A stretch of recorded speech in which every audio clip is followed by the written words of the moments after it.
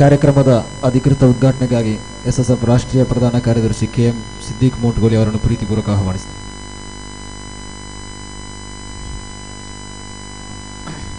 السلام عليكم ورحمة الله وبركاته بسم الله والحمد لله والصلاة والسلام على أشرف رسول الله وعلى آله وصحبه وسائر عباد الله الفائزين برضا الله أما بعد ಗೌರವಾನ್ವಿತ ಸಭಾಧ್ಯಕ್ಷರಾದ ಸಿರಾಜುದ್ದೀನ್ ಸಖಾಫಿ ಉಸ್ತಾದ್, ಪ್ರಮುಖ ಭಾಷಣವನ್ನು ಮಾಡಲಿಕ್ಕಿರುವ ಸನ್ಮಾನ್ಯ ಶಾಫಿ ಸೈದಿ ಉಸ್ತಾದ್ ಸೇರಿದಂತೆ ಎಲ್ಲ ನಮ್ಮ ನಾಯಕರೇ, ಉಮರಾಗಳೇ, ಉಲಮಾಗಳೇ, ಇಲ್ಲಿ ನೆರೆದಿರುವ ಸುನ್ನಿ ಸ್ಟೂಡೆಂಟ್ಸ್ ಫೆಡರೇಷನ್ ಇದರ ಸಕ್ರಿಯ ಕಾರ್ಯಕರ್ತರೇ, ಈ ಕಾರ್ಯಕ್ರಮವನ್ನು ವೀಕ್ಷಿಸುತ್ತಿರುವ ಸರ್ವಧರ್ಮೀಯ ಬಂಧು ಭಗಿನಿಯರೇ, ನಮ್ಮ ತಾಯ್ನಾಡಾದಂಥ ಭಾರತ ದೇಶವು ಬ್ರಿಟಿಷರ ಕಪಿಮುಷ್ಟಿಯಿಂದ ಮುಕ್ತಿ ಪಡೆದು ಸ್ವಾತಂತ್ರ್ಯವನ್ನು ಗಳಿಸಿದಂತಹ ಸಂದರ್ಭವನ್ನು ನೆನಪಿಸಿಕೊಂಡು, ಆ ಸಂಭ್ರಮದಲ್ಲಿ ಸಹಭಾಗಿಯಾಗಳಾಗುವುದಕ್ಕೆ ಬೇಕಾಗಿ ಕರ್ನಾಟಕ ರಾಜ್ಯ ಸುನ್ನಿ ಸ್ಟೂಡೆಂಟ್ಸ್ ಫೆಡರೇಷನ್ ಹಮ್ಮಿಕೊಂಡಂತಹ ಆಜಾದಿ ಜಾಥಾ ಈಗಾಗಲೇ ನೀವು ಗಮನಿಸಿದ್ದೀರಿ. ಈ ಜಿಲ್ಲೆಯ ನಾನಾ ಕಡೆಗಳಿಂದ ಆಗಮಿಸಿದಂತಹ ಶ್ವೇತ ವಸ್ತ್ರಧಾರಿಗಳಾದ ಹಾಗೂ ಅವರ ಸಹಚರರಾದ ಸುನ್ನಿ ಸ್ಟೂಡೆಂಟ್ಸ್ ಫೆಡರೇಷನ್ನಿನ ಕಾರ್ಯಕರ್ತರು, ತ್ಯಾಗ, ಶಾಂತಿ ಮತ್ತು ಸಮೃದ್ಧಿಯನ್ನು ಬೋಧಿಸುವಂತಹ ಭಾರತದ ತ್ರಿವರ್ಣ ಪತಾಕೆಯನ್ನು ಹಿಡಿದು ಅದರ ಹಿಂದೆ ಶಾಂತಿ, ಸೌಹಾರ್ದದ ಮತ್ತು ಸುಭಿಕ್ಷೆಯ ಸಂಕೇತವಾದ ನೀಲ ಶ್ವೇತ ಹಸಿರು ಧ್ವಜವನ್ನು ಹಿಡಿದುಕೊಂಡು ಸಾಗಿ ಬಂದಂತಹ ಶಾಂತಿಯ ವಾಹಕರಾದ ಎಸ್ ಎಸ್ ಎಫ್ನ ಕಾರ್ಯಕರ್ತರು. ಅವರು ಮೊಳಗಿಸಿದಂತಹ ಘೋಷಣೆಗಳನ್ನು ನೀವು ಗಮನಿಸಿರಬಹುದು. ಈ ನಾಡು ನಮ್ಮದು, ನಾವು ಭಾರತೀಯರು. ಈ ರಾಷ್ಟ್ರಕ್ಕೆ ನಮ್ಮ ಪೂರ್ವ ಸೂರಿಗಳಾದ ನಾಯಕರು ಅತ್ಯಂತ ತೀವ್ರವಾದ ಹೋರಾಟದ ಫಲವಾಗಿ ಪಡೆದುಕೊಂಡಂತಹ ಸ್ವಾತಂತ್ರ್ಯವನ್ನು ಸಂರಕ್ಷಣೆ ಮಾಡತಕ್ಕಂತಹ ಅತ್ಯಂತ ಶ್ರೇಷ್ಠವಾದ ಒಂದು ಹೊಣೆಗಾರಿಕೆಯನ್ನು ಎದೆಗಪ್ಪಿಕೊಂಡು ಈ ಮಣ್ಣಿನಲ್ಲಿ ಬದುಕಿ, ಈ ಮಣ್ಣನ್ನು ಸಾರ್ಥಕಗೊಳಿಸುವಂತಹ ಒಂದು ಸಂದೇಶವನ್ನ ಅವರು ಸಾರಿಕೊಂಡರು. ನನ್ನ ಪ್ರೀತಿಯ ಬಂಧುಗಳೇ, ಈ ಆಜಾದಿ ಜಾಥಾ ಅನ್ನುವಂತಹ ಒಂದು ಹೆಸರು ಅಥವಾ ಆಜಾದಿ ಕಾರ್ಯಕ್ರಮ ಎನ್ನುವಂತಹ ಒಂದು ಟೈಟಿಲ್ ಅದು ಬಹಳ ದೊಡ್ಡ ಒಂದು ಸಂದೇಶವನ್ನು ನಿಮಗೆ ಕೊಡ್ತಾ ಇದೆ. ಭಾರತದ ಸ್ವಾತಂತ್ರ್ಯ ಹೋರಾಟ ಅಂತಕ್ಕಂಥದ್ದು ಅದು ಜಗತ್ತಿನಲ್ಲಿ ಹಿಂದೆಂದೂ ಕಂಡರಿಯದ ಕೇಳರಿಯದಂತಹ ಒಂದು ಐತಿಹಾಸಿಕವಾದ ಘಟನೆ.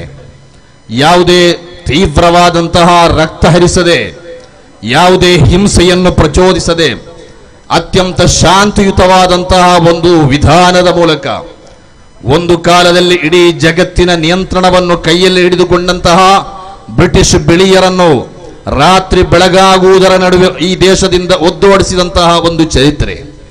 ಈ ಚರಿತ್ರೆಗೂ, ಭಾರತದ ಮುಸಲ್ಮಾನರ ಪರಂಪರೆಗೂ ಅತ್ಯಂತ ದೊಡ್ಡ ಒಂದು ಸಂಬಂಧವಿದೆ. ಅದು ಯಾವುದು ಅಂತ ಕೇಳಿದರೆ, ಸೇತು ಮಾಧವರಾಮ್ ಪಗಡಿ ಎನ್ನುವಂತಹ ಮಹಾರಾಷ್ಟ್ರದ ಒಬ್ಬ ಇತಿಹಾಸಕಾರ ಬರೆದಿಡ್ತಾರೆ, ಭಾರತದ ಸ್ವಾತಂತ್ರ್ಯ ಹೋರಾಟಕ್ಕೆ ಆರಂಭ ಹಾಕಿದವರು ಭಾರತದ ಮುಸಲ್ಮಾನರಾಗಿದ್ದಾರೆ. ಈ ಭಾರತದ ಮೇಲೆ ದಾಳಿ ಮಾಡುವುದಕ್ಕೆ ಬೇಕಾಗಿ ಘೋರಿಗಳು ಬಂದಿದ್ದಾರೆ, ಗಜನಿಗಳು ಬಂದಿದ್ದಾರೆ, ಮೊಘಲರು ಬಂದಿದ್ದಾರೆ, ಬೇರೆ ಬೇರೆ ರಾಷ್ಟ್ರಗಳಿಂದ ಅರಸರು ಬಂದಿದ್ದಾರೆ. ಆ ಸಂದರ್ಭದಲ್ಲಿ ನಾವು ಪುಸ್ತಕಗಳಲ್ಲಿ ಕೆಲವೊಮ್ಮೆ ಓದುತ್ತೇವೆ, ಇಲ್ಲಿನ ದೇವಾಲಯಗಳನ್ನು ಕೊಳ್ಳೆ ಹೊಡೆದರು. ಇಲ್ಲಿನ ಸಂಪತ್ತನ್ನು ಲೂಟಿ ಮಾಡಿದರು. ಚರಿತ್ರೆಯ ಸತ್ಯಾಸತ್ಯವನ್ನು ನಾನು ವಿವರಿಸಲಿಕ್ಕೆ ಹೋಗುವುದಿಲ್ಲ. ಆದರೆ ಸೇತು ಮಾಧವರ ಒಂದು ಪ್ರಶ್ನೆಯನ್ನು ಕೇಳ್ತಾರೆ. ಆ ಅರಸರು ಇಲ್ಲಿಗೆ ಬಂದ ಸಂದರ್ಭದಲ್ಲಿ ಯಾಕೆ ಅವರನ್ನು ಇಲ್ಲಿಂದ ಓಡಿಸುವುದಕ್ಕೆ ಸಾಧ್ಯವಾಗಲಿಲ್ಲ? ಅವರು ಹೇಳ್ತಾರೆ, ಅವರನ್ನು ಓಡ್ಲಿಕ್ಕೆ ಓಡಿಸಲಿಕ್ಕೆ ಸಾಧ್ಯವಾಗಲಿಲ್ಲ ಇವರಿಗೆ, ಇಲ್ಲಿ, ಇಲ್ಲಿನ ನಮ್ಮ ಜನರಿಗೆ. ಅದೇ ಸಂದರ್ಭದಲ್ಲಿ ಸಾವಿರದ ಹದಿನೆಂಟನೇ ಶತಮಾನದಲ್ಲಿ ಬ್ರಿಟಿಷರು ಬಂದಾಗ ಅವರ ವಿರುದ್ಧ ತೀವ್ರವಾದಂತಹ ಹೋರಾಟ ನಡೆಯುತ್ತದೆ ಕಾರಣ, ಆ ಕಾಲಕ್ಕೆ ಭಾರತದ ಮುಸಲ್ಮಾನರು ಅತ್ಯಂತ ಪ್ರಬಲವಾದ ಶಕ್ತಿಗಳಾಗಿದ್ದರು. ಈ ಹೋರಾಟದ ನಾಯಕತ್ವಕ್ಕೆ ಮುಂಚೂಣಿಯಲ್ಲಿ ನಿಂತವರು ಭಾರತದ ಮುಸಲ್ಮಾನರಾಗಿದ್ದರು. ನನ್ನ ಪ್ರೀತಿಯ ಬಂಧುಗಳೇ, ಬ್ರಿಟಿಷರ ವಿರುದ್ಧ ಭಾರತದ ಸ್ವಾತಂತ್ರ್ಯ ಸಮರದ ಆರಂಭ. ಯಾವಾಗ ಅಂತ ಕೇಳಿದರೆ ಒಂದು ವೇಳೆ ನಮ್ಮ ಶಾಲೆಯ ಮಕ್ಕಳು ಹೇಳ್ಬೋದು, ಸಾವಿರದ ಎಂಟುನೂರ ಐವತ್ತೇಳರ ಪ್ರಥಮ ಸ್ವಾತಂತ್ರ್ಯದಂಗೆ. ನಾನು ಹೇಳ್ತಾ ಇದ್ದೇನೆ, ಅಲ್ಲ, ಅದಕ್ಕಿಂತ ನೂರು ವರ್ಷಗಳ ಆಚೆ, ಸಾವಿರದ ಏಳ್ನೂರ ಐವತ್ತ ಏಳರಲ್ಲಿ ಬಂಗಾಳದ ನವಾಬನಾಗಿದ್ದ ಸಿರಾಜುದ್ದೌಲಾ ಬ್ರಿಟಿಷರ ವಿರುದ್ಧ ನಡೆಸಿದಂತಹ ಮೊತ್ತ ಮೊದಲ ಪ್ಲಾಸಿ ಕದನ ಅಂತಕ್ಕಂತಹ ಯುದ್ಧ. ಅದಾಗಿತ್ತು ಬ್ರಿಟಿಷರ ವಿರುದ್ಧ ಭಾರತದಲ್ಲಿ ನಡೆದ ಮೊದಲ ಯುದ್ಧ. ಅದನ್ನು ನಡೆಸಿದವನು ಒಬ್ಬ ಮುಸಲ್ಮಾನ ಅರಸರಾಗಿದ್ದರು. ನನ್ನ ಪ್ರೀತಿಯ ಬಂಧುಗಳೇ, ಪ್ರೊಫೆಸರ್ ಗಿಲ್ಬರ್ಟ್ ಸಿಕ್ವೇರ ಅನ್ನುವಂತಹ ಮಂಗಳೂರಿನ ಸೈಂಟ್ ಅಲೋಶಿಯಸ್ ಕಾಲೇಜಿನ ನಿವೃತ್ತ ಇತಿಹಾಸ ಪ್ರಾಧ್ಯಾಪಕರಾದಂತಹ ಪ್ರೊಫೆಸರ್ ಗಿಲ್ಬರ್ಟ್ ಸಿಕ್ವೇರ ಅವರ ಪುಸ್ತಕಗಳು, ಇತಿಹಾಸ ಪುಸ್ತಕಗಳು ನಮ್ಮ ಪದವಿ ಪೂರ್ವ ತರಗತಿಗಳಲ್ಲಿ ಮಕ್ಕಳು ಓದುತ್ತಾ ಇದ್ದಾರೆ. ಅವರು ಬರೀತಾರೆ, ಭಾರತದ ಸ್ವಾತಂತ್ರ್ಯಕ್ಕಾಗಿ ಮೊತ್ತ ಮೊದಲು ಜೀವ ಕೊಟ್ಟವರು ಯಾರು? ಶಹೀದೆ ಮಿಲ್ಲತ್ತು ಟಿಪ್ಪು ಸುಲ್ತಾನ್ ರಹಮತುಲ್ಲಾಹಿ ಅಲಿ ಈ ಕನ್ನಡದ ಹೆಮ್ಮೆಯ ಸುಪುತ್ರರಾದಂತಹ ಟಿಪ್ಪು ಸುಲ್ತಾನ್. ನನ್ನ ಪ್ರೀತಿಯ ಬಂಧುಗಳೇ ಸಾವಿರದ ಏಳ್ನೂರ ತೊಂಬತ್ತ ಒಂಬತ್ತರ ನಾಲ್ಕನೇ ಆಂಗ್ಲೋ ಮಂಗಳೂರು ಯುದ್ಧದಲ್ಲಿ ತನ್ನ ಜೀವನವನ್ನು ಸಮರ್ಪಣೆ ಮಾಡಿದಂತಹ ಶಹೀದೆ ಮಿಲ್ಲೆ ಅದಕ್ಕಿಂತ ಮೊದಲು ಬ್ರಿಟಿಷರನ್ನು ಸೋಲಿಸುವುದಕ್ಕೆ ಬೇಕಾಗಿ ಬರಾಟರನ್ನು, ಫ್ರೆಂಚರನ್ನು, ನವ ನಿಜಾಮರನ್ನು, ಬೇರೆ ಬೇರೆ ಚಕ್ರವರ್ತಿಗಳನ್ನು, ರಾಜರುಗಳನ್ನು ಸಂಘಟಿಸಿ ಒಂದು ಏಕತೆಯ ಮೂಲಕ ಅವರನ್ನು ಸೋಲಿಸುವ ಪ್ರಯತ್ನವನ್ನು ಮಾಡಿದರು. ದುರದೃಷ್ಟವಶಾತ್ ಅದು ಸಾಧ್ಯವಾಗಲಿಲ್ಲ. ಅಂತಹ ಒಂದು ಸಂದರ್ಭದಲ್ಲಿ ತನ್ನ ಎರಡು ಮಕ್ಕಳನ್ನು ಈ ರಾಷ್ಟ್ರದ ರಕ್ಷಣೆಗೆ ಬೇಕಾಗಿ ಅಡವಿಟ್ಟಂತಹ ಒಬ್ಬ ಮನುಷ್ಯ ಟಿಪ್ಪು ಸುಲ್ತಾನ್ ಅಲ್ಲದ ಮತ್ತೊಬ್ಬರನ್ನು ಚರಿತ್ರೆಯಲ್ಲಿ ಕಾಣಲಿಕ್ಕೆ ಸಾಧ್ಯವಾಗುವುದಿಲ್ಲ. ನನ್ನ ಪ್ರೀತಿಯ ಬಂಧುಗಳೇ, ಬಹಳ ದುರಂತ ಅಂತ ಹೇಳಿದರೆ, ಪ್ರತಿ ತಿಂಗಳ ನವೆಂಬರ್ ಹತ್ತನೇ ತಾರೀಕಿನಂದು ಟಿಪ್ಪು ಜಯಂತಿಯನ್ನು ಕರ್ನಾಟಕದಲ್ಲಿ ಆಚರಿಸಬೇಕು ಅಂತ ಹೇಳ್ತಕ್ಕಂತಹ ಒಂದು ನಿರ್ಧಾರವನ್ನು ಸರ್ಕಾರ ಕೈಗೊಂಡಾಗ ಅದನ್ನು ಒಂದರ್ಥದಲ್ಲಿ ಈ ನಾಡಿನ ಎಲ್ಲ ಜನರು ಕೂಡ ಅತ್ಯಂತ ಪ್ರೀತಿಯಿಂದ ಸ್ವಾಗತಿಸಬೇಕಾಗಿತ್ತು. ಆದರೆ ಆ ದಿನವನ್ನು ಇವತ್ತು ನಾವು ಆತಂಕದಿಂದ ಕಳೆಯುವಂತಹ ಒಂದು ಸನ್ನಿವೇಶ ಬಂದಿರುವುದು ಈ ರಾಷ್ಟ್ರದ ಅತ್ಯಂತ ದೊಡ್ಡ ದುರಂತ ಅಂತ ಹೇಳಲಿಕ್ಕೆ ನಾನು ಬಯಸ್ತಾ ಇದ್ದೇನೆ. ನನ್ನ ಪ್ರೀತಿಯ ಬಂಧುಗಳೇ, ಆ ಬಳಿಕದ ಪ್ರಥಮ ಸ್ವಾತಂತ್ರ್ಯ ಸಂಗ್ರಾಮ ಅಂತ ಹೇಳಿ ನಾವು ಕರೆಯುವಂತಹ ಸಾವಿರದ ಎಂಟುನೂರ ಐವತ್ತ ಏಳರ ಆ ಹೋರಾಟ ಅದರ ನಾಯಕ ಯಾರಾಗಿದ್ರು ಎಂದು ಕೇಳಿದರೆ ಇತಿಹಾಸ ಕೊಡುವಂತಹ ಉತ್ತರ ಬಹಾದೂರ್ ಜಾ ಸಫರ್ ಎನ್ನುವಂತಹ ಒಬ್ಬ ಮುಸಲ್ಮಾನ ಅರಸರಾಗಿದ್ದರು. ನನ್ನ ಪ್ರೀತಿಯ ಸಹೋದರರೇ, ಒಂದು ನಮ್ಮ ಸಾವಿರದ ಒಂಬೈ ಸಾವಿರದ ಒಂಬೈನೂರ ಎಪ್ಪತ್ತ ಏಳು ಎಪ್ಪತ್ತ ಎಂಟರ ಕಾಲದಲ್ಲಿ ಭಾರತದ ವಿದೇಶಾಂಗ ಸಚಿವರಾಗಿದ್ದಂತಹ ಸನ್ಮಾನ್ಯ ಶ್ರೀ ಅಟಲ್ ಬಿಹಾರಿ ವಾಜಪೇಯಿಯವರು ರಂಗೂನಿಗೆ ಹೋಗಿದ್ದಾಗ, ಬರ್ಮಾಕ್ಕೆ ಹೋಗಿದ್ದಾಗ ಅಲ್ಲಿ ಬಹಾದೂರ್ ಶಾ ಸಫರ್ ಅವರ ಸಮಾಧಿಯ ಮುಂದೆ ನಿಂತು ಕಣ್ಣೀರು ಹಾಕಿ ಹೇಳಿದಂತಹ ಒಂದು ಮಾತು ಇದೆ. ಈ ಸಲ್ಮಾ, ಈ ಬಹಾದೂರ್ ಶಾ ಜಫರ್ ಭಾರತದ ಸ್ವಾತಂತ್ರ್ಯ ಸಂಗ್ರಾಮಕ್ಕೆ ನಾಂದಿ ಹಾಡಿದ ಮನುಷ್ಯ. ಆದ್ದರಿಂದ ಈ ಮೃತ ಶರೀರ ಇಲ್ಲಿರಬೇಕಾದಲ್ಲ, ಅದು ಭಾರತದ ಮಣ್ಣಲ್ಲಿ ದಫನವಾಗಬೇಕು. ಆದ್ದರಿಂದ ಈ ಸರ್ಕಾರವೇನಾದರೂ ಈ ಸ್ಮೃತ ಶರೀರವನ್ನು ಭಾರತಕ್ಕೆ ಕೊಂಡೊಯ್ಯುವುದಕ್ಕೆ ಅವಕಾಶ ಕೊಟ್ಟರೆ ಅದರ ಎಲ್ಲ ವ್ಯವಸ್ಥೆಯನ್ನು ನಮ್ಮ ಭಾರತದ ಸರ್ಕಾರ ಮಾಡ್ತದೆ ಅಂತ ಹೇಳಿ ಅತ್ಯಂತ ಅಭಿಮಾನದಿಂದ ಹೇಳಿದಂತಹ ಆ ಮೌಲಾನ ಮ- ಶಾ ಜಫರ್. ನನ್ನ ಪ್ರೀತಿಯ ಸಹೋದರರೇ, ಇಲ್ಲಿ ಭಾರತದ ಸ್ವಾತಂತ್ರ್ಯ ಚರಿತ್ರೆಯ ಕ್ರಾಂತಿಕಾರಿ ನಾಯಕರಾದಂತಹ ಸುಭಾಷ್ ಚಂದ್ರ ಬೋಸ್ ಅವರು ಬ್ರಿಟಿಷರ ವಿರುದ್ಧ ಹೋರಾಡುವುದಕ್ಕಾಗಿ ಸ್ವತಂತ್ರವಾದ ಒಂದು ಸೈನ್ಯವನ್ನು ಕಟ್ಟಿದಾಗ ಆ ಸೈನ್ಯದ ಲಾಂಚಿಂಗ್ ಮಾಡಿದ್ದು ಬಹಾದೂರ್ ಶಾ ಜಫರ್ ಅವರ ಸಮಾಧಿಯ ಮುಂದೆ ನಿಂತುಕೊಂಡಾಗಿತ್ತು ಅನ್ನುವುದನ್ನು ನಾವು ಹೆಮ್ಮೆಯಿಂದ ನೆನೆದುಕೊಳ್ಳಬೇಕಾಗಿದೆ ಏನು ಮಾಡಿದರು? ಬಹಾದೂರ್ ಶಾ ಸಫರ್ ಹೇಳಿದರು. ಎಂಟುನೂರು ವರ್ಷಗಳ ಕಾಲ ಆಡಳಿತ ಮಾಡಿದ ಮುಸ್ಲಿಂ ಅರಸ ಪರಂಪರೆಯ ಕೊನೆಯ ಕೊಂಡಿಯಾದ ಆ ಬಹಾದೂರ್ ಶಾ ಜಫರ್ ಅನ್ನ ರಂಗೂನ್ಗೆ ಗಡೀಪಾರು ಮಾಡಿದರು. ಒಂದು ಬೆಳಿಗ್ಗೆ ಆ ಮನುಷ್ಯ ನಿದ್ದೆಯಿಂದ ಹೇಳ್ತಕ್ಕಂತ ಸಂದರ್ಭದಲ್ಲಿ ಬೆಳಗ್ಗಿನ ಅರ್ಥ ಮಾಡಲಿಕ್ಕೆ ಸಾಧ್ಯ. ತಮ್ಮ ಕೊನೆಯ ವಸಿಯತ್ತಾಗಿ ಬಹಾದೂರ್ ಹೇಳಿದರು, ಓ ಬ್ರಿಟಿಷರೇ, ನನ್ನ ಒಂದೇ ಒಂದು ಆಸೆ ಇದೆ. ನನ್ನ ಬದುಕಿನ ಕೊನೆಯ ಕಾಲವನ್ನು ನಾನು ಆಡಳಿತ ಮಾಡಿದ. ನನ್ನ ಪೂರ್ವಿಕರು ಆಡಳಿತ ಮಾಡಿದ. ಎಂಟೂರು ವರ್ಷ ಮುಸಲ್ಮಾನರು ಆಡಳಿತ ಮಾಡಿದ. ಹಿಂದೂ ಸ್ಥಾನದಲ್ಲಿ ಮಲಗಲಿಕ್ಕೆ ನನ್ನ ಕೊನೆಯ ದಿನಗಳನ್ನು ಮುಗಿಸಲಿಕ್ಕೆ ನೀವು ಅವಕಾಶ ಕೊಡಲಿಲ್ಲ. ಪರವಾಗಿಲ್ಲ. ಆದರೆ ನನ್ನ ನನ್ನ ಮೃತ ಶರೀರವನ್ನ, ನನ್ನ ಮೈಯತ್ತನ್ನಾದರೂ ಭಾರತದ ಮಣ್ಣಲ್ಲಿ ದಫನ ಮಾಡಿ ಮಾಡಲಿಕ್ಕೆ ನನಗೆ ಆರಡಿ ಜಾಗವನ್ನು ಬಿಟ್ಟು ಕೊಡಬೇಕು ಅಂತ ಕೇಳಿದಂತಹ ಆ ಬಹದ್ದೂರ್ ಶಾ ಜಫರ್ ಆದರೂ ಬ್ರಿಟಿಷರು ಕೊಡಲಿಲ್ಲ. ದೀರ್ಘವಾಗಿ ನಾನು ಘಟನೆಯನ್ನು ವಿವರಿಸುವುದಿಲ್ಲ. ಹಾಗೆ ಮುಸಲ್ಮಾನರಿಂದ ಆರಂಭಗೊಂಡಂತಹ ಮೊದಲ ಸ್ವಾತಂತ್ರ್ಯ ಸಮರ. ಆ ಬಳಿಕ ನೀವು ಬಂದರೆ ಕಟ್ಟ ಕಡೆಗೆ ನಮಗೆ ಸ್ವಾತಂತ್ರ್ಯವನ್ನು ಕೊಡುವುದಕ್ಕೆ ಕಾರಣವಾದ ಅತ್ಯಂತ ದೊಡ್ಡ ಚಳವಳಿ ಅಂತ ಹೇಳಿದರೆ ಕ್ವಿಚ್ ಇಂಡಿಯಾ ಚಳವಳಿ.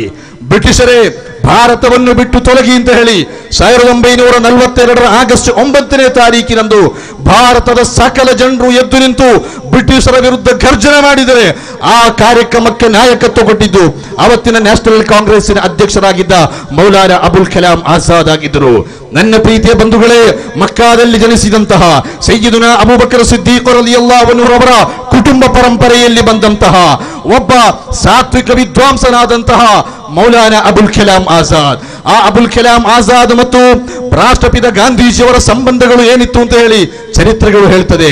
ರಂಜಾನ್ ತಿಂಗಳಲ್ಲಿ ಅಬುಲ್ ಕಲಾಂ ಆಜಾದ್ ಉಪವಾಸಿಗನಾಗಿರುವಾಗ ಅವರ ಮನೆಯಲ್ಲಿ ವಾಸವಾಗಿರುವ ಸಂದರ್ಭಗಳಲ್ಲಿ ಗಾಂಧೀಜಿಯವರು ಕೂಡ ಉಪವಾಸ ಆಚರಿಸ್ತಾ ಇದ್ದರು. ಯಾಕೆ? ಮೌಲಾನ ಅಬುಲ್ ಕಲಾಂ ಆಜಾದ್ ರವರು ಹೊಂದಿದಂತಹ ಗೌರವವಾಗಿತ್ತು. ಇರಲಿ ನನ್ನ ಬಂಧುಗಳೇ, ಆ ರೀತಿ ಸಾವಿರದ ಒಂಬೈನೂರ ನಲವತ್ತೆರಡರ ಆಗಸ್ಟ್ ಒಂಬತ್ತನೇ ತಾರೀಕಿನಂದು ನಡೆದಂತಹ ಆ ಕ್ವಿಟ್ ಇಂಡಿಯಾ ಚಳವಳಿ, ಅದನ್ನು ನೆನಪಿಸಿಕೊಂಡು ನಾವು ಕರ್ನಾಟಕ ರಾಜ್ಯ ಎಸ್ ಎಸ್ ಎಫ್ ಕಳೆದ ಹತ್ತಾರು ವರ್ಷಗಳಿಂದ ಪ್ರತಿ ವರ್ಷ ಆಗಸ್ಟ್ ಒಂಬತ್ತನೇ ತಾರೀಕಿಗೆ ನಮ್ಮ ಸ್ವಾತಂತ್ರ್ಯ ದಿನಾಚರಣೆಯನ್ನು ಆರಂಭ ಮಾಡುತ್ತದೆ.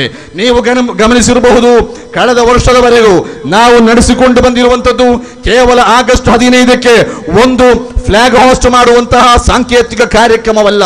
ಬದಲು ಆಗಸ್ಟ್ ಒಂಬತ್ತರಿಂದ ಹದಿನೈದರವರೆಗಿನ ಒಂದು ವಾರವನ್ನು ನಾವು ಸ್ವಾತಂತ್ರ್ಯ ದಿನವಾಗಿ ಆಚರಣೆ ಮಾಡ್ತಾ ಬಂದಿದ್ದೇವೆ ಹತ್ತು ವರ್ಷಗಳಿಂದ. ಆದರೆ ಕಳೆದ ವರ್ಷ ನಮ್ಮ ಪ್ರಧಾನಮಂತ್ರಿ ಶ್ರೀ ನರೇಂದ್ರ ಮೋದಿ ಅವರು ಘೋಷಣೆ ಮಾಡಿದರು, ಇನ್ನು ಎಲ್ಲರೂ ಕೂಡ ರಾಷ್ಟ್ರಾದ್ಯಂತ ಏಳು ದಿನಗಳ ಕಾಲ ಸ್ವಾತಂತ್ರ್ಯ ಆಚರಣೆಯನ್ನ ಆರಂಭಿಸಬೇಕು. ನಾವು ಅದನ್ನು ಹತ್ತು ವರ್ಷದಿಂದ ಮಾಡ್ತಾ ಇದ್ದೇವೆ. ಯಾಕೆಂತ ಹೇಳಿದ್ರೆ, ಸ್ವಾತಂತ್ರ್ಯ ಆಚರಣೆ ಅನ್ನುವಂಥದ್ದು ಕೇವಲ ಒಂದು ಸಾಂಕೇತಿಕವಾದಂತಹ ಒಂದು ಸಂಭ್ರಮವಲ್ಲ. ಬದಲು ಸ್ವಾತಂತ್ರ್ಯದ ಹಿಂದಿರುವ ಸಂದೇಶ ಈ ನಾಡಿನ ನೂರಿಪ್ಪತ್ತು ಕೋಟಿ ಮನುಷ್ಯರ ಮನಸ್ಸುಗಳಲ್ಲಿ ನೆಲೆ ನಿಲ್ಲಬೇಕು ಸ್ವಾತಂತ್ರ್ಯದ ಸಂದೇಶ ಯಾವುದು? ಸೂರ್ಯ ಮುಳುಗದ ನಾಡಿನ ಅಧಿಪತಿಗಳಾದ ಬ್ರಿಟಿಷರ ವಿರುದ್ಧ ಈ ರಾಷ್ಟ್ರದ ಈ ಭಾರತೀಯರಿಗೆ ರಾತ್ರಿ ಬೆಳಗಾಗುವುದರ ನಡುವೆ ಸ್ವಾತಂತ್ರ್ಯವನ್ನು ಪಡೆಯಲಿಕ್ಕೆ ಸಾಧ್ಯವಾಗಿದ್ದರೆ ಅವರು ಬಳಸಿದಂತಹ ಅತ್ಯಂತ ದೊಡ್ಡ ಶಕ್ತಿ ಯಾವುದೇ ಬಾಂಬ್ಗಳಾಗಿರಲಿಲ್ಲ, ಯಾವುದೇ ಆಧುನಿಕ ಶಸ್ತ್ರಾಸ್ತ್ರಗಳಾಗಿರಲಿಲ್ಲ. ಬದಲು ಅವರ ಅತ್ಯಂತ ದೃಢಚಿತ್ತವಾದಂತಹ ಶಾಂತಿ ಮತ್ತು ಸೌಹಾರ್ದತೆಯಿಂದ ಕೂಡಿದಂತಹ ಅವರ ಹೋರಾಟವಾಗಿತ್ತು. ಅಪ್ಪಟ ಹಿಂದೂ ಆಗಿದ್ದಂತಹ ಮಹಾತ್ಮ ಗಾಂಧೀಜಿಯವರು, ಅಪ್ಪಟ ಮುಸಲ್ಮಾನರಾಗಿದ್ದಂತಹ ಅಬುಲ್ ಕಲಾಂ ಆಜಾದ್ ರವರು, ಕ್ರೈಸ್ತರಾಗಿದ್ದಂತಹ ಡಾಕ್ಟರ್ ಆನಿ ಬೆಸೆಂಟ್ ರವರು ಇವರೆಲ್ಲರೂ ಕೂಡಿ ಅವರವರ ಧರ್ಮವನ್ನು ಅವರು ಪಾಲಿಸಿಕೊಂಡು, ಆದರೆ ಬ್ರಿಟಿಷರ ವಿರುದ್ಧ ರಾಷ್ಟ್ರದ ರಕ್ಷಣೆಗಾಗಿ ಪರಸ್ಪರ ಹೆಗಲಿಗೆ ಹೆಗಲು ಕೊಟ್ಟು ದುಡಿದಾಗ ಈ ಭಾರತ ಸ್ವಾತಂತ್ರ್ಯವನ್ನು ಪಡೆಯುವುದಕ್ಕೆ ಸಾಧ್ಯವಾಯಿತು. ಒಂದು ವಿಷಯವನ್ನು ನೆನಪಿಸಲಿಕ್ಕೆ ಬಯಸ್ತಾ ಇದ್ದೇನೆ. ಇವತ್ತು ನಮ್ಮ ಭಾರತ ಸಾವಿರದ ಒಂಬೈನೂರ ನಲವತ್ತೇಳರ ಆ ಪರಿಸ್ಥಿತಿಗಿಂತ ಹೆಚ್ಚೇನೂ ಭಿನ್ನವಾಗಿಲ್ಲ. ಯಾಕೆಂತ ಕೇಳಿದರೆ, ಈ ರಾಷ್ಟ್ರದ ಮೇಲೆ ಒಂದು ದಾಳಿ ಯಾವುದೇ ಒಂದು ಸಂದರ್ಭದಲ್ಲಿ ನಡೆದರೆ ಆಶ್ಚರ್ಯ ಪಡಬೇಕಾದ ಅಗತ್ಯವಿಲ್ಲ. ಅದಕ್ಕೆ ಒಂದು ಕಾರಣ ಇದೆ. ಈ ರಾಷ್ಟ್ರದ ಏಳಿಗೆಯನ್ನು ಸಹಿಸಲಿಕ್ಕೆ ಸಾಧ್ಯವಾಗದ ಕೆಲವು ಶಕ್ತಿಗಳು ಈ ಜಗತ್ತಿನಲ್ಲಿದೆ. ನಾಳೆ ಪಾಕಿಸ್ತಾನ ಈ ಭಾರತದ ಮೇಲೆ ದಾಳಿ ಮಾಡಿದರೆ ಅಥವಾ ಚೀನಾ ಈಗಾಗಲೇ ನಮ್ಮ ವಿರುದ್ಧ ಕಾಲುಗೆರೆಯುತ್ತಾ ಇದೆ. ನಾಳೆ ಒಂದು ವೇಳೆ ದಾಳಿ ಮಾಡಿದರೆ ನೀವು ನೆನಪಿಟ್ಟುಕೊಳ್ಳಿ, ಅಮೆರಿಕ ಭಾರತದ ಬೆಂಬಲಕ್ಕೆ ಬರುವುದಿಲ್ಲ. ರಷ್ಯಾ ಭಾರತದ ಬೆಂಬಲಕ್ಕೆ ಬರುವುದಿಲ್ಲ. ಜಗತ್ತಿನ ಯಾವುದೇ ಶ್ರೀಮಂತ ಸೈನಿಕ ರಾಷ್ಟ್ರಗಳು ಭಾರತದ ಬೆಂಬಲಕ್ಕೆ ಬರುವುದಿಲ್ಲ. ಯಾಕೆಂದು ಕೇಳಿದರೆ ಭಾರತ ಜಗತ್ತಿನ ಸೂಪರ್ ಪವರ್ ಆಗುವುದನ್ನು ಸಹಿಸಲಿಕ್ಕೆ ಜಗತ್ತಿನ ಯಾವ ರಾಷ್ಟ್ರ ಕೂಡ ಸಿದ್ಧನಿಲ್ಲ. ಆದರೆ ನಾವು ಹೇಳ್ತಾ ಇದ್ದೇವೆ, ನಮಗದು ಅಗತ್ಯವಿಲ್ಲ. ಸೃಷ್ಟಿಕರ್ತನಾದ ಅಲ್ಲಾಹು ಈ ಭಾರತಕ್ಕೆ ಕೊಟ್ಟ ಒಂದು ದೊಡ್ಡ ಶಕ್ತಿ ಇದೆ. ಅದು ಯಾವುದು ಅಂತ ಕೇಳಿದೆ, ಜಗತ್ತಿನಲ್ಲಿ ಬೇರೆ ಯಾವ ರಾಷ್ಟ್ರಕ್ಕೂ ಇಲ್ಲದಂತಹ ಅತ್ಯಂತ ದೊಡ್ಡ ಜನಸಂಖ್ಯೆ ನಮಗಿದೆ. ನೂರ ಇಪ್ಪತ್ತು ಕೋಟಿ ಜನರು ನಾವಿದ್ದೇವೆ. ಈ ನೂರ ಇಪ್ಪತ್ತು ಕೋಟಿ ಜನರು ಒಂದೇ ತಾಯಿಯ ಮಕ್ಕಳಾಗಿ ಒಗ್ಗೂಡಿದರೆ ಈ ರಾಷ್ಟ್ರದ ಒಂದು ಮರಣ ಕಣವನ್ನು ಕೂಡ ಕಬಳಿಸಲಿಕ್ಕೆ ಜಗತ್ತಿನ ಯಾವುದೇ ಶಕ್ತಿಗೂ ಸಾಧ್ಯ ಇಲ್ಲ ಅಂತ ಹೇಳುವುದನ್ನು ಈ ಸಂದರ್ಭದಲ್ಲಿ ನಾವು ನೆನಪಿಸಬೇಕಾಗಿದೆ. ಆದರೆ ಒಂದು ವಿಷಯವನ್ನು ನಾವು ಆತ್ಮಾವಲೋಕನ ಮಾಡಬೇಕಾಗಿದೆ. ಅದು ನಮಗೆ ಸಾಧ್ಯವಾಗಬೇಕಾದರೆ ನಾವು ಒಂದಾಗಬೇಕು. ನಮ್ಮ ನಡು- ನಡುವಿನ ಕಚ್ಚಾಟಗಳು, ನಮ್ಮ ನಡುವಿನ ಸಂಘರ್ಷಗಳು, ಈ ಕಚ್ಚಾಟಗಳು ಕೋಮುಗಲಭಗಳು ಸಂಘರ್ಷಗಳ ಮೂಲ ಯಾವುದು ಅಂತ ಕೇಳಿದರೆ ಅದು ಭಾರತೀಯರಲ್ಲ, ಅದು ಬ್ರಿಟಿಷರು. ಬ್ರಿಟಿಷರು ಭಾರತದಲ್ಲಿ ಯಾವತ್ತಿನವರೆಗೆ ಮುಸಲ್ಮಾನರು ಮತ್ತು ಹಿಂದೂಗಳು ಒಂದಾಗಿರ್ತಾರೋ, ಆವತ್ತಿನ ತನಕ ನಮಗೆ ಉಳಿಗಾಲ ಇಲ್ಲ ಅಂತ ಹೇಳಿ ತಿಳಿದುಕೊಂಡ ಬ್ರಿಟಿಷರು, ಭಾರತದ ಭಾರತವನ್ನು ಸದಾಕಾಲ ತಮ್ಮ ಕಪಿಮುಷ್ಟಿಯಲ್ಲಿ ಇರಿಸುವ ತಂತ್ರದ ಭಾಗವಾಗಿ ಹಿಂದೂಗಳನ್ನು ಮತ್ತು ಮುಸಲ್ಮಾನರು ಬೇರೆ ಬೇರೆ ಮಾಡಿದರು. ಅವರು ಆವತ್ತು ಹಾಕಿಕೊಂಡಂತಹ ಕೆಲವು ರೊಟ್ಟಿಯ ತುಂಡುಗಳನ್ನು ಇವತ್ತು ಕೂಡ ನೆಕ್ಕಿಕೊಂಡು ಬದುಕತಕ್ಕಂತಹ ಕೆಲವು ದೇಶದ್ರೋಹಿಗಳಿದ್ದಾರೆ. ಅವರು ಯಾವುದೇ ಜಾತಿ ಇರಬಹುದು ಮತ ಇರಬಹುದು ಪಥ ಇರಬಹುದು ಅವರು ತಿಳಿದುಕೊಳ್ಳಬೇಕಾಗಿದೆ ಈ ಭಾರತ ಯಾವುದೇ ಹಿಂದುವಿನದ್ದಲ್ಲ ಈ ಭಾರತ ಯಾವುದೇ ಮುಸಲ್ಮಾನನದ್ದಲ್ಲ ಈ ಭಾರತ ಯಾವುದೇ ಕ್ರೈಸ್ತನದ್ದಲ್ಲ ಬದಲು ಈ ಭಾರತ ಮಧಬ್ ನಹಿ ಸಿಕ್ಕಾತಾ आपस में बैर रखना ಹಿಂದಿ ಹೇ ಹಮ್ ವಚನ್ ವಹಿ ಹೇ ಹಿಂದೂಸ್ತಾನ್ ಹಮಾರ ಈ ರಾಷ್ಟ್ರದಲ್ಲಿ ಬದುಕುತ್ತಿರುವ ಜಾತಿ ಮತ ಪಥ ಪಂಗಡ ಭಾಷೆ ವೇಷಗಳಿಗೆ ಅತೀತವಾಗಿ ಈ ರಾಷ್ಟ್ರದಲ್ಲಿ ಬದುಕುತ್ತಿರುವ ಪ್ರತಿಯೊಬ್ಬ ಭಾರತೀಯನಿಗೆ ಸಂಬಂಧಪಟ್ಟದ್ದು ಈ ರಾಷ್ಟ್ರ ನನ್ನ ಪ್ರೀತಿಯ ಬಂಧುಗಳೇ ದೇಶ ಪ್ರೇಮದ ಬಗ್ಗೆ ನಾವು ಕೇಳ್ತಾ ಇದ್ದೇವೆ. ದೇಶ ಪ್ರೇಮವನ್ನು ಮುಸಲ್ಮಾನರು ಪ್ರತ್ಯೇಕವಾಗಿ ಯಾರು ಹೇಳಿಕೊಡಬೇಕಾದ ಅಗತ್ಯ ಇಲ್ಲ. ಹುಬ್ಬುಲ್ ಮಿನಲ್ ಈಮಾನ್, ತನ್ನ ದೇಶವನ್ನು ಪ್ರೀತಿಸಬೇಕಾದ್ದು ಧರ್ಮ ವಿಶ್ವಾಸದ ಭಾಗ ಅಂತ ಎನ್ನುವಂತಹ ಒಂದು ಸಿದ್ಧಾಂತವನ್ನು ಕಲಿತುಕೊಂಡವರು ಮುಸಲ್ಮಾನರು. ಅದೇ ಸಂದರ್ಭದಲ್ಲಿ ನೀವು ತಿಳಿದುಕೊಳ್ಳಿ, ಈ ರಾಷ್ಟ್ರದ, ಈ ಭಾರತದ ಮಣ್ಣಿನಲ್ಲಿ ಈ ಭಾರತದ ಮಣ್ಣಿಗೆ ಒಂದು ದಿನದಲ್ಲಿ ಮೂವತ್ತ ನಾಲ್ಕು ಬಾರಿ ತಮ್ಮ ಹೆಣ ಹಣೆಯನ್ನ ನೆಲಕ್ಕಿಡುವಂತಹ ಒಂದು ಸಮಾಜ ಇದ್ದರೆ ಅದು ಮುಸಲ್ಮಾನರು ಮಾತ್ರ. ಒಂದು ದಿನದಲ್ಲಿ ಐದು ಹೊತ್ತು, ಹದಿನೇಳು ರಕಾತು ನಮಾಜಿನ ಮೂಲಕ ಮೂವತ್ತ ನಾಲ್ಕು ಸಾಷ್ಟಾಂಗಗಳಲ್ಲಿ ಮೂವತ್ತ ನಾಲ್ಕು ಬಾರಿ ತಮ್ಮ ಶರೀರದ ಅತ್ಯಂತ ಮುಖ್ಯವಾದಂತಹ ಮುಖದ ಹಣೆಯನ್ನ ಈ ಭಾರತದ ಮಣ್ಣಿಗೆ ತಾಗಿಸದವ ಮುಸಲ್ಮಾನನಲ್ಲ. ಆದ್ದರಿಂದ ಈ ನಮಗೆ ಯಾರಿಗೂ ಕೂಡ ರಾಷ್ಟ್ರ ಪ್ರೇಮವನ್ನು ಕೆಲಸಿಕೊಡಬೇಕಾದ ಅಗತ್ಯ ಇಲ್ಲ. ಆದರೆ ಒಂದು ವಿಷಯ ನಾನು ಹೇಳ್ತೇನೆ, ದೇಶ ಪ್ರೇಮ ಅಂತ ಹೇಳಿದ್ರೆ ಏನು? ಕಾಶ್ಮೀರದಿಂದ ಕನ್ಯಾಕುಮಾರಿವರೆಗೆ ಇರತಕ್ಕಂತಹ ವಿಶಾಲವಾದ ಭಾರತದ ಮಣ್ಣನ್ನು ಮಾತ್ರ ಪ್ರೀತಿಸುವಂತದ್ದಲ್ಲ ಬದಲು ಈ ಮಣ್ಣಿನಲ್ಲಿ ಬದುಕು ಕಟ್ಟಿಕೊಂಡಿರ್ತಕ್ಕಂತಹ ಒಂದು ಕಾಲು ಕೋಟಿ ಜನರಿದ್ದಾರೆ. ಅವರ ಭಾಷೆ, ಅವರ ವೇಷ, ಅವರ ಜಾತಿ, ಅವರ ಧರ್ಮ, ಅವರ ಮತ, ಅವರ ಪಥ, ಅವರ ಪಂಗಡ, ಅದ್ಯಾವುದನ್ನು ನೋಡದೆ ನನ್ನ ನಾಡಿನಲ್ಲಿ ಬದುಕುವ ಒಬ್ಬ ಭಾರತೀಯ ಎನ್ನುವಂತಹ ವಿಶಾಲವಾದ ಮನಸ್ಸಿನಲ್ಲಿ ನಿನಗದೆ ಅವರನ್ನು ಪ್ರೀತಿಸಲಿಕ್ಕೆ ಸಾಧ್ಯವಾಗ್ತದೋ, ಅದು ಮಾತ್ರ ದೇಶ ಪ್ರೇಮ ಅದನ್ನು ಬಿಟ್ಟು ಜಾತಿ, ಮತ, ಪಥ, ಪಂಗಡಗಳ ಹೆಸರಿನಲ್ಲಿ ದೌರ್ಜನ್ಯ ನಡೆಸ್ತಕ್ಕಂತಹ ಕೋಮುಗಲಭೆಗಳನ್ನು ನಡೆಸಿದಂತಹ ಭೇದ ಭಾವಗಳನ್ನು ಮಾಡ್ತಕ್ಕಂತಹ ಆ ಒಂದು ಮನೋಭಾವ, ಅದು ರಾಷ್ಟ್ರಭಕ್ತಿಯಲ್ಲ, ಅದು ರಾಷ್ಟ್ರ ದ್ರೋಹ ಅಂತ ಹೇಳಲಿಕ್ಕೆ ನಾನು ಬಯಸ್ತಾ ಇದ್ದೇನೆ. ನನ್ನ ಪ್ರೀತಿಯ ಬಂಧುಗಳೇ, ಈ ಭಾರತಕ್ಕೆ ಈ ಬಹು ಧರ್ಮಗಳು ಬಹುಮತಗಳು ಬಹುಪಥಗಳು ಅದು ಈ ರಾಷ್ಟ್ರಕ್ಕಿರ್ತಕ್ಕಂತಹ ಸೌಂದರ್ಯ. ನಿಮಗೆ ಗೊತ್ತಿರಬಹುದು, ಬಾ, ಚಂದ್ರಲೋಕಕ್ಕೆ ಹೋದರು ಭಾರತದಿಂದ ರಾಕೇಶ್ ಶರ್ಮಾ ತಿರುಗಿ ಬಂದಾಗ ಅವತ್ತಿನ ಪ್ರಧಾನಮಂತ್ರಿ ಶ್ರೀಮತಿ ಇಂದಿರಾ ಗಾಂಧಿ ಕೇಳಿದರು ಚಂದ್ರಲೋಕದಿಂದ ಭಾರತ ಹೇಗೆ ಕಾಣಿಸ್ತದೆ? ಆಗ ಅವರು ಕೊಟ್ಟಂತ ಉತ್ತರ, ಸಾರೇ ಜಹಾನ್ ಸೆ ಅಚ್ಚಾ, ಏ ಹಿಂದೂ ಸಿತಾನ್ ಹಮಾರ, ಹಮ್ ಬುಲ್ ಬುಲೆ ಇಸ್ಕಿ, ಏ ಗುಲ್ ಸಿತಾನ್ ಹಮಾರ, ಅಲ್ಲಾಮ ಇಕ್ಬಾಲ್ ಹಾಡಿದಂತಹ ಒಂದು ಹಾಡು, ಸರ್ವ ಜಗದೊಳತಿ ಸುಂದರ ಈ ನಮ್ಮ ಭಾರತ, ಹಕ್ಕಿಗಳು ನಾವು ಹಾರಾಡುವೆವು, ಇದುವೇ ನಮ್ಮ ಬೃಂದಾವನ. ನನ್ನ ಪ್ರೀತಿಯ ಬಂಧುಗಳೇ, ಇಲ್ಲಿನ ಇಸ್ಲಾಂ ಧರ್ಮ, ಭಾರತ ಅಂತಕ್ಕಂತ ಸುಂದರವಾದ ಹೂತೋಟದ ಸೌಂದರ್ಯವನ್ನು ಹೆಚ್ಚಿಸ್ತಕ್ಕಂತಹ ಒಂದು ಪುಷ್ಪವಾಗಿದೆ ಹಿಂದೂ ಧರ್ಮ. ಅದೇ ರೀತಿ ಮತ್ತೊಂದು ಬಗೆಯ ಪುಷ್ಪವಾಗಿದೆ ಇಸ್ಲಾಂ ಧರ್ಮ. ಮಗದೊಂದು ಬಗೆಯ ಪುಷ್ಪವಾಗಿದೆ. ಕ್ರೈಸ್ತ ಧರ್ಮ, ಜೈನ ಧರ್ಮ, ಸಿಖ್ ಧರ್ಮ ಪ್ರತಿಯೊಂದು ಕೂಡ. ಇದೆಲ್ಲ ಇದ್ದಾಗ ಮಾತ್ರ ಭಾರತ ಭಾರತವಾಗಿ ಉಳಿಲಿಕ್ಕೆ ಸಾಧ್ಯವಾಗ್ತದೆ. ಇವೆಲ್ಲ ಇದ್ದಾಗ ಮಾತ್ರ ಸಾರೆ ಜಹಾನ್ಸಿ ಅಚ್ಚ ಆಗಲಿಕ್ಕೆ ಸಾಧ್ಯ ಆಗ್ತದೆ. ಇದನ್ನು ಯಾರಾದರೂ ಹಾನಿಗೆಡವಿಲಿಕ್ಕೆ ಪ್ರಯತ್ನ ಮಾಡಿದರೆ ಎಲ್ಲರೂ ಕೂಡ ಜಾತಿ ಮತ ನೋಡದೆ ಒಂದಾಗಿ ಅವರನ್ನು ಒಂಟಿಗೊಳಿಸುವಂತಹ ಪ್ರಯತ್ನ ಮಾಡಬೇಕಾಗಿದೆ. ಆಗ ಮಾತ್ರ ನಮ್ಮ ಭಾರತೀಯತೆಯನ್ನ ನಾವು ಕಾಪಾಡಿದ ಹಾಗೆ ಆಗ್ತದೆ. ನನ್ನ ಪ್ರೀತಿಯ ಬಂಧುಗಳೇ, ಬಹಳಷ್ಟು ಮಂದಿ ಇರುವುದರಿಂದ ನಾನು ಮಾತನಾಡುವುದಿಲ್ಲ ದೀರ್ಘವಾಗಿ. ಇಲ್ಲಿ ಆಧುನಿಕ ಭಾರತದ ಸ್ಥಿತಿಗತಿಗಳನ್ನು ನಾವು ಕಾಣ್ತಾ ಇದ್ದೇವೆ. ಒಂದು ಕಡೆಯಲ್ಲಿ ಇಪ್ಪತ್ತೊಂದನೇ ಶತಮಾನ ಭಾರತದ ಶತಮಾನ ಅಂತ ಹೇಳುವ ಹೆಮ್ಮೆಯೊಂದಿಗೆ ಮುನ್ನುಗ್ಗುತ್ತಿರುವಂತಹ ನಾವು, ಇನ್ನೊಂದು ಕಡೆಗಳಲ್ಲಿ ಇನ್ನೂ ಕೂಡ ಈ ಭಾರತಕ್ಕೆ ಸ್ವಾತಂತ್ರ್ಯ ಬಂದಿದೆಯಾ ಅಂತ ಹೇಳಿ ಸಂದೇಹ ಪಡಬೇಕಾದಂತಹ ಒಂದು ಸ್ಥಿತಿಯಲ್ಲಿದ್ದೇವೆ. ನಿಮಗೆ ಗೊತ್ತಿರಬಹುದು, ನಮ್ಮ ಭಾರತದ ವಾಣಿಜ್ಯ ನಗರವಾದ ಮುಂಬೈಗೆ ಹತ್ತಿರ ಇರತಕ್ಕಂತಹ ಟ್ರಾಂಬೆ ಬಾಹ್ಯಾಕಾಶ ಉಡ್ಡಯನ ಕೇಂದ್ರದಿಂದ ಹೊರಡ್ತಕ್ಕಂತಹ ಸುಮಾರು ಏಳು ರಾಷ್ಟ್ರಗಳಿಗೆ ಸೇರಿದ ಮುನ್ನೂರಕ್ಕೂ ಅಧಿಕ ಉಪಗ್ರಹಗಳನ್ನು ಒಂದೇ ಆಕಾಶ ನೌಕೆಯ ಮೂಲಕ ಉಡ್ಡಯನ ಮಾಡಿದಂತಹ ಭಾರತ. ಇಡೀ ಜಗತ್ತಿನಲ್ಲಿ ಅತ್ಯಂತ ದೊಡ್ಡ ದಾಖಲೆಯನ್ನು ಮಾಡಿದಂತಹ ಭಾರತ. ಆದರೆ ನಮಗೆ ಅದರಲ್ಲಿ ಹೆಮ್ಮೆ ಪಡಲಿಕ್ಕೆ ಹೇಗೆ ಸಾಧ್ಯ ಆಗ್ತದೆ ಅಂತ ನಾನು ಕೇಳಬೇಕಾಗಿದೆ. ಯಾಕೆಂತ ಹೇಳಿದ್ರೆ ಬಾಂಬೆಯ ಟ್ರಾಂಬೆ ಬಾಹ್ಯಾಕಾಶ ಉಡ್ಡಯನ ಕೇಂದ್ರದಿಂದ ಹೊರಡುವಂತಹ ಒಂದು ಉಪಗ್ರಹ ಸುರಕ್ಷಿತವಾಗಿ ಮಂಗಳ ಗ್ರಹಕ್ಕೂ ಚಂದ್ರ ಗ್ರಹಕ್ಕೂ ಆಕಾಶ ಪಥಗಳಿಗೆ ಹೋಗಿ ತಲುಪಲಿಕ್ಕೆ ಸಾಧ್ಯವಾಗ್ತದೆ. ಆದರೆ ದೆಹಲಿಯ ಮಾರುಕಟ್ಟೆಯಲ್ಲಿ ಪೆರ್ನಾಳಿಗಾಗಿ ಡ್ರೆಸ್ಸು ಖರೀದಿಸಿ ಮಾಡಿ ಮೂವತ್ತು ಕಿಲೋಮೀಟರ್ ದೂರದ ತನ್ನ ಮನೆಗೆ ಹೊರಟಂತಹ ಹಾಫಿಲ್ ಜುನೈದ್ ಎನ್ನುವ ಹದಿನಾರು ವರ್ಷದ ಹುಡುಗನಿಗೆ ತನ್ನ ಮನೆಗೆ ಸೇರಲಿಕ್ಕೆ ಸಾಧ್ಯ ಆಗುವುದಿಲ್ಲ. ನಮ್ಮ ಭಾರತದ ದುರಂತ ನೋಡಿ, ನಾವು ಚಂದ್ರ ಯಾನವನ್ನು ಕೈಗೊಳ್ತೇವೆ. ನಾವು ಬಾಹ್ಯಾಕಾಶಗಳಿಗೆ ಹೋಗ್ತೇವೆ. ನಮ್ಮ ಜನರಿಗೆ ತಮ್ಮ ಮನೆಗಳಿಗೆ ಸುರಕ್ಷಿತವಾಗಿ ತಲುಪುವುದಕ್ಕೆ ಸಾಧ್ಯವಾಗುವುದಿಲ್ಲ. ಸ್ವಾತಂತ್ರ್ಯದ ಬಗ್ಗೆ ಮಹಾತ್ಮ ಗಾಂಧೀಜಿಯವರು ಹೇಳಿದರು, ಯಾವಾಗ ಈ ಭಾರತದಲ್ಲಿ ಮಧ್ಯರಾತ್ರಿ ಒಂದು ಹೆಣ್ಣು ಸುಬಿ, ಸುರಕ್ಷಿತವಾಗಿ ಸಾರ್ವಜನಿಕ ರಸ್ತೆಯಲ್ಲಿ ನಡೆದಾಡಿಕೊಂಡು ತನ್ನ ಮನೆಗೆ ತಲುಪಲಿಕ್ಕೆ ಸಾಧ್ಯವಾಗ್ತದೆ. ಆವಾಗ ಮಾತ್ರ ಈ ರಾಷ್ಟ್ರಕ್ಕೆ ಸ್ವಾತಂತ್ರ್ಯ ಇದೆ ಅಂತ ಹೇಳಿ ನಾನು ಭಾವಿಸ್ತೇನೆ ಅಂತ ಹೇಳಿದರು. ಆದರೆ ಇವತ್ತು ನಮ್ಮ ಸ್ಥಿತಿ ಹೇಗಿದೆ ಅಂತ ಕೇಳಿದರೆ ನಿನ್ನೆಯ ಪತ್ರಿಕೆಗಳಲ್ಲಿ ನಾನು ಹೋದೆ ನಾನು ಓದಿದೆ. ಪ್ರತಿ ಎರಡೂವರೆ ಗಂಟೆಗೊಂದು, ಪ್ರತಿ ಎರಡೂವರೆ ಗಂಟೆಗೆ ಹದಿನಾರು ವರ್ಷದ ಕೆಳಗಿನ ಒಂದು ಹುಡುಗಿಯ ಮೇಲೆ ಈ ರಾಷ್ಟ್ರದಲ್ಲಿ ಅತ್ಯಾಚಾರ ಆಗ್ತದೆ. ಹದಿನಾರು ವರ್ಷದ ಕೆಳಗಿನ ಹುಡುಗಿಯ ಮೇಲೆ ಎರಡೂವರೆ ಗಂಟೆಗೆ ಒಂದು ಎಂಬಂತೆ ಅತ್ಯಾಚಾರವಾಗ್ತಾ ಇದೆ. ಹತ್ತು ವರ್ಷದ ಒಂದು ಪುಟ್ಟ ಬಾಲೆ, ಅವಳ ಮೇಲೆ ಅತ್ಯಾಚಾರವಾಗಿ ಗರ್ಭಿಣಿಯಾಗಿದ್ದಾಳೆ.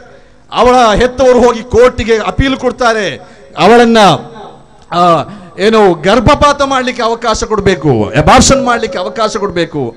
ಕೋರ್ಟ್ ಹೇಳ್ತದೆ, ಇಲ್ಲ, ಇಪ್ಪತ್ತು ವಾರಕ್ಕಿಂತ ಹೆಚ್ಚಾದ ಗರ್ಭವನ್ನು ಗರ್ಭಪಾತ ಮಾಡಲಿಕ್ಕೆ ಕಾನೂನಿನಲ್ಲಿ ಅವಕಾಶ ಇಲ್ಲ. ವೈದ್ಯರು ಹೇಳ್ತಾರೆ, ಇಲ್ಲ, ಈ ಹುಡುಗಿ ಸುರಕ್ಷಿತವಾಗಿ ಹೆರಿಗೆ ಆಗಲಿಕ್ಕೆ ಸಾಧ್ಯ ಇಲ್ಲ. ಕಾನೂನು ಮತ್ತು ಆರೋಗ್ಯ ಶಾಸ್ತ್ರದ ನಡುವೆ ಜಂಜಾಟದಲ್ಲಿ, ಜೀವನ ಮರಣದಲ್ಲಿ ಬದುಕುತ್ತಿರುವಂತಹ ಒಂದು ಹುಡುಗಿಗಾಗಿ ನನ್ನ ಪ್ರೀತಿಯ ಬಂಧುಗಳೇ, ನಮ್ಮ ಕಣ್ಣಿನಲ್ಲಿ ಕಣ್ಣೀರು ಉಳಿದಿಲ್ಲ ಅಂತ ಹೇಳಿದ್ರೆ ನಾವೆಂತ ಭಾರತೀಯರು ಅಂತ ಹೇಳಿ ಕೇಳಬೇಕಾಗಿದೆ. ಈ ಒಂದು ಸನ್ನಿವೇಶ ಇಲ್ಲಿ ಯಾಕೆ ಬಂತು? ಈ ರಾಷ್ಟ್ರದಲ್ಲಿ ಪ್ರತಿ ಹದಿಮೂರು ಗಂಟೆಗೆ ಒಂದು ಹುಡುಗಿ, ಹತ್ತು ವರ್ಷಕ್ಕಿಂತ ಕೆಳಗಿನವಳು ಅತ್ಯಾಚಾರಕ್ಕೆ ಬಲಿಯಾಗ್ತಾ ಇದ್ದಾಳೆ. ಮಧ್ಯರಾತ್ರಿ ಬಿಡಿ, ನಡು ಮಧ್ಯಾಹ್ನ, ಸಾರ್ವಜನಿಕ ರಸ್ತೆಯಲ್ಲಿ ಒಂದು ಹೆಂಗಸು ಸುರಕ್ಷಿತವಾಗಿ ಹೋಗಲಿಕ್ಕೆ ಎಷ್ಟು ಮಂದಿಗೆ ಸಾಧ್ಯ ಅಂತ ಹೇಳುವಂತಹ ಪ್ರಶ್ನೆ ನಮ್ಮ ಮುಂದೆ ಇವತ್ತು ಬರ್ತಾ ಇದೆ. ಇಂತಹ ಒಂದು ಸನ್ನಿವೇಶ ಒಂದು ಕಡೆಗೆ. ಇನ್ನೊಂದು ಕಡೆಗೆ ನಮ್ಮ ಸ್ವಾತಂತ್ರ್ಯ. ನಾವೆಲ್ಲರೂ ಅತ್ಯಂತ ಪ್ರೀತಿಯಿಂದ, ಬಹಳ ಒಗ್ಗಟ್ಟಿನಿಂದ ಒಂದಾಗಿ ಗಳಿಸಿದ ಸ್ವಾತಂತ್ರ್ಯ. ಆದರೆ ನಾವು ಇವತ್ತು ಒಂದಾಗಿ ಬದುಕಲಿಕ್ಕೆ ಸಾಧ್ಯವಾಗದ ಸನ್ನಿವೇಶವನ್ನು ಕೆಲವು ಸ್ಥಾಪಿತ ಹಿತಾಸಕ್ತಿಗಳು ಮಾಡ್ತಾ ಇದೆ. ಅದರ ವಿರುದ್ಧ ನಾವು ಜಾಗರೂಕರಾಗಬೇಕಾಗಿದೆ. ನಮಗೆ ನಮ್ಮ ಧರ್ಮ. ಇಲ್ಲಿರುವಂತಹ ಧರ್ಮಗಳು ಯಾವತ್ತೂ ರಾಷ್ಟ್ರದಲ್ಲಿ ನಾವು ಸುರಕ್ಷಿತವಾಗಿ ಬದುಕುವುದಕ್ಕೆ ಅಡ್ಡಿಯಾಗುವುದಿಲ್ಲ. ಮಾನವೀಯತೆಯ ಅಡಿ ತಳಹದಿಯಲ್ಲಿ ಬದುಕುವುದಕ್ಕೆ ಯಾವ ಧರ್ಮ ಕೂಡ ಅಡ್ಡಿಯಾಗುವುದಿಲ್ಲ. ಹಿಂದೂ ಧರ್ಮದವರು ಅವರ ಸುಪ್ರಭಾತಗಳಲ್ಲಿ ಮಾಡ್ತಕ್ಕಂಥ ಪ್ರಾರ್ಥನೆಯನ್ನು ನೀವು ಕೇಳಿದಿರಿ ಸರ್ವೇ ಭವಂತು ಸುಖಿನಃ, ಸರ್ವೇ ಸಂತು ನಿರಾಮಯ. ಸರ್ವೇ ಭದ್ರಾಣಿ ಪಶ್ಯಂತು ಮಾಕಶ್ಚೇ ದುಃಖ ಬಾರ್ಭವೇ ಓಂ ಶಾಂತಿ ಶಾಂತಿ ಶಾಂತಿ. ಎಲ್ಲಿ ಸಂತೋಷ್ ಕುಮಾರ್ ಶೆಟ್ಟಿ ಅವರಿದ್ದಾರೆ, ಅವರಲ್ಲಿ ನೀವು ಕೇಳಿ. ಏರು ಅವರು ಸುಪ್ರಭಾತದಲ್ಲಿ ಪ್ರಾರ್ಥನೆ ಮಾಡ್ತಾರೆ. ಸರ್ವೇ ಹಿಂದೂ ಸುಖಿನೋ ಭವಂತು ಅಂತ ಹೇಳುವುದಿಲ್ಲ. ಸರ್ವೇ ಭವಂತು, ಸರ್ವೇ ಜನಾಹ ಸುಖಿನೋ ಭವಂತು ಅಂತ ಹೇಳ್ತಾರೆ. ಎಲ್ಲ ಜನರಿಗೂ ಸುಖ ಆಗಬೇಕು ಅಂತ ಹೇಳ್ತಾರೆ. ಇಲ್ಲಿನ ಮುಸಲ್ಮಾನರು ಐದು ಹೊತ್ತು ಪ್ರಾರ್ಥನೆಗಾಗಿ ಮೊಳಗಿಸ್ತಕ್ಕಂಥ ಅದಾನ್ನಲ್ಲಿ ಅವರು ಹೇಳುವುದೇನು? ಅಲ್ಲಾಹು ಅಕ್ಬರ್ ಅಲ್ಲಾಹು ಅಕ್ಬರ್, ಅಲ್ಲಾಹು ದೊಡ್ಡವನು, ಅಲ್ಲಾಹು ರಹಮಾನ್.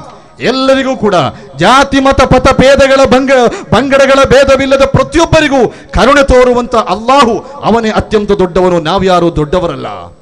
ಈ ರೀತಿಯ ಒಂದು ಸಂದೇಶ you love your enemies the door of the heaven is the through the way of heaven is through the door of your neighbour ಸ್ವರ್ಗದ ದಾರಿ, ನಿನ್ನ ನೆರೆಮನೆಯವನ ಮನೆ ಎದುರುಗಡೆ ಇದೆ.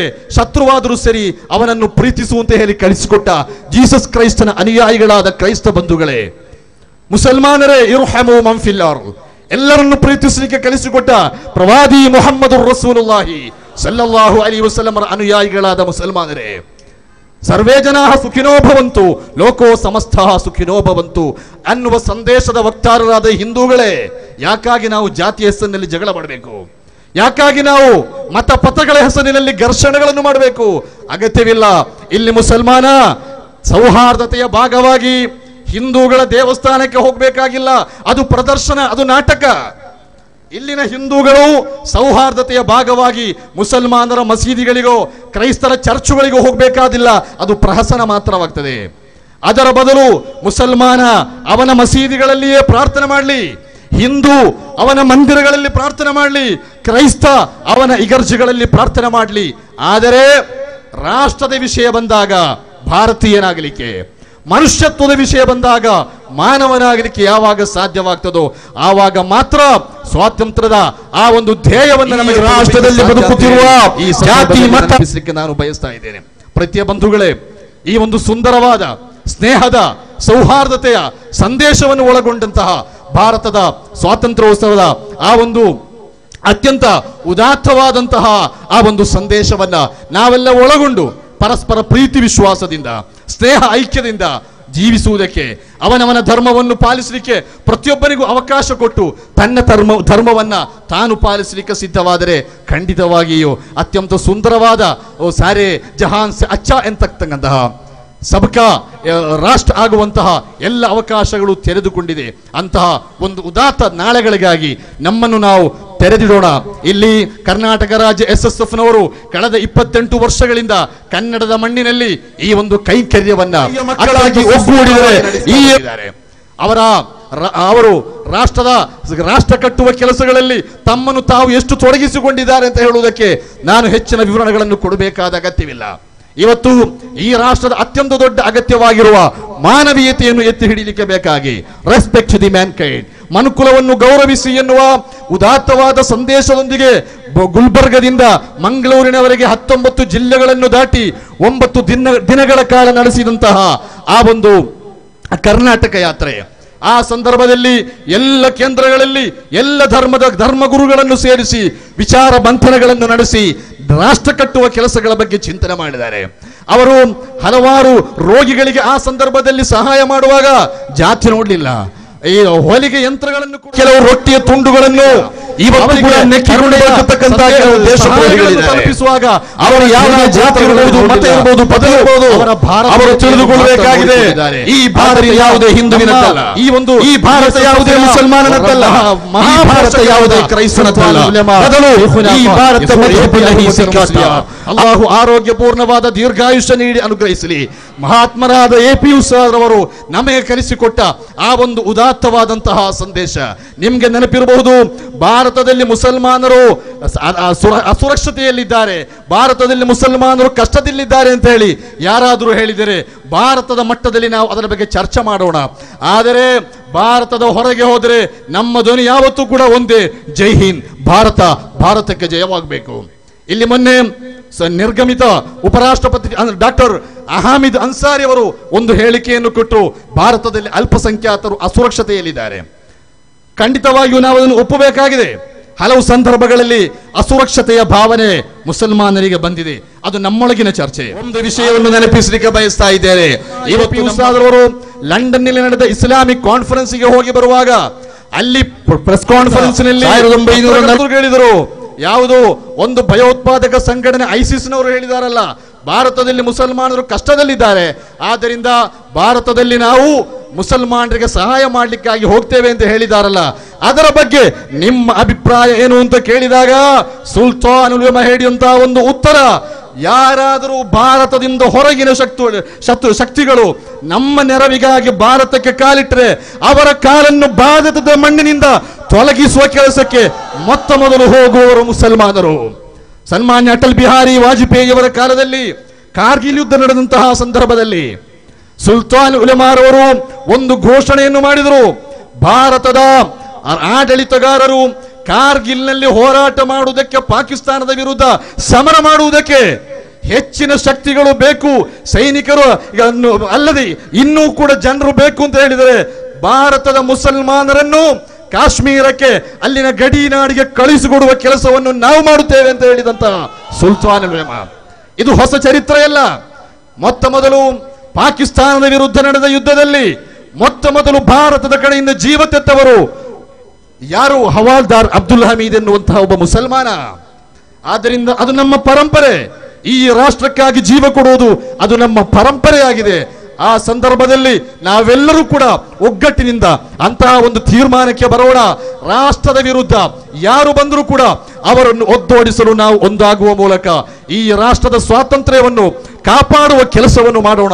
ಎಲ್ಲರನ್ನು ಪ್ರೀತಿಸುವ ಮೂಲಕ ನಮ್ಮ ಉದಾತ್ತವಾದ ಭಾರತೀಯತೆಯನ್ನು ಉಳಿಸಿಕೊಳ್ಳೋಣ ಅನ್ನುವಂತಹ ಒಂದು ಹಾರೈಕೆಯೊಂದಿಗೆ ಮಾತಿಗೆ ವಿರಾಮ ಆಖರು ದಅವಾನ ಅನಿಲ್ ಹಮ್ದುಲಿಲ್ಲಾಹಿ ರಬ್ಬಿಲ್ ಆಲಮೀನ್ ಅಸ್ಸಲಾಮು ಅಲೈಕುಂ ವರಹಮತುಲ್ಲಾಹಿ ವಬರಕಾತುಹು ಜೈ ಭಾರತ್ ಜೈ ಜಗತ್